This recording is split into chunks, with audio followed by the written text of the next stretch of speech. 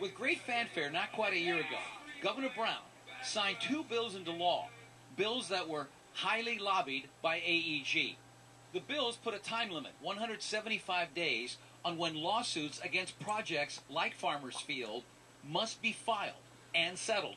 And it also mandates that all lawsuits involving the environment on the project must be sent to the Court of Appeals, not Superior Court, something that's never been done before in California and something that the ACLU says is highly unfair. A billionaire's favor is how they called it. We are seeking the protections of the Constitution. AEG has already completed the necessary 10,000 page environmental report. And last year, I asked the governor, doesn't this bill cater to the billionaire companies? When the uh, elephants start pounding their hooves, you know, the little uh, ants get out of the way. I mean, that's just part of the way life is. Well, yeah, the elephant stomped on the ant, the ant being this community, and that's why I'm involved. Gary Williams, professor at Loyola Law School,